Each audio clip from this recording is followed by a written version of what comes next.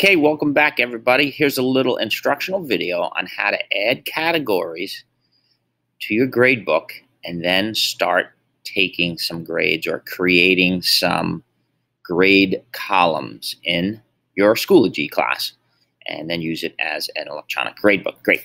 When you log into Schoology and click on courses, you're going to see you will have a literacy course. All you do is click on literacy and then when it loads, your, your screen's going to look like this. You have no materials in it. We're not really adding materials or anything else. You can click on members, and then you're going to see your class list right there. All right. Now, you're in your Schoology course. It's your literacy course. And the first thing you want to do is click on grade setup. When you click on grade setup, the only thing you really have to worry about in here to start is adding categories. So the first category we're going to add is writing. You do? Calculate by total points. You can put percent, but we want total points. And then just click create. What it does is it puts that category We're going to add three more categories that's going to align with the report card. And it's going to be vocabulary. Click create. You click the add button again. We want to make one called comprehension.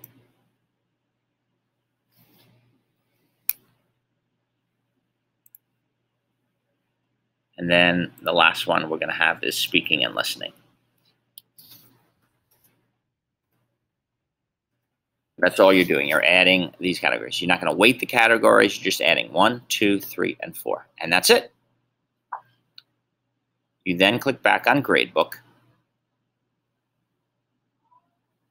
You're going to notice here's your gradebook. You will see all your students on the left-hand side.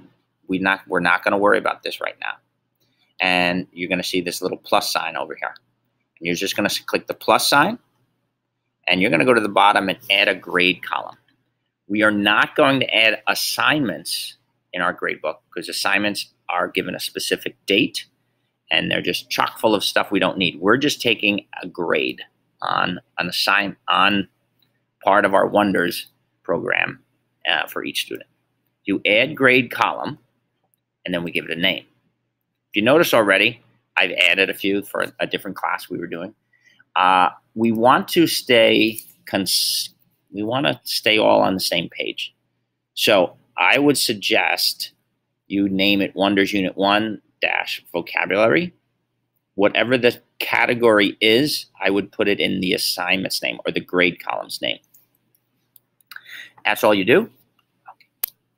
And then the category is right here. And I would say, hey, I'm going to pick one of these categories. Click writing. And before you click create, you want to just put four here because that's all the numbers. We're just giving it one out of four. One, two, three, or four. And all you do is click create.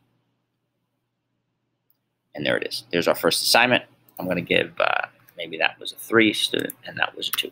And that's all you do. I'm going to put a second one in here. I'm going to call it, uh, I forgot what I did. I used comprehension before. I don't know, but I'm going to give it a 4 and click create.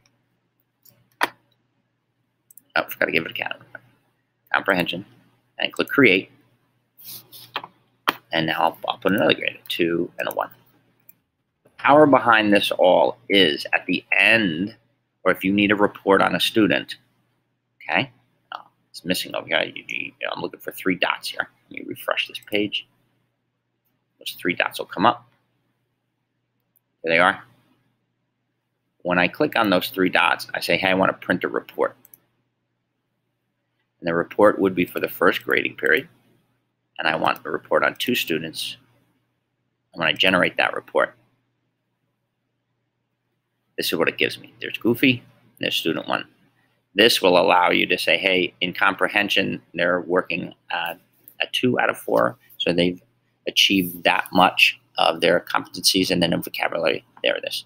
Right now, don't worry about this percents, okay? Don't worry about the percents at all. We're just looking for this. This is a report you can see, and then at the end of the quarter, you're gonna be able to simply input these by hand, unfortunately, into eSchool. All right, I'm gonna click back on Gradebook. And at the end of the semester, if I click on all materials here, I want to do by category summaries, look what it says. gives me writing, vocabulary, speaking, comprehension. Don't pay attention to these numbers right here. We wish they could stay a three, a two, a four, but they can't. But right now I know 25 is a one and a 50 is a two. 75 would be a three. And of course, if it was 100, it would be a four.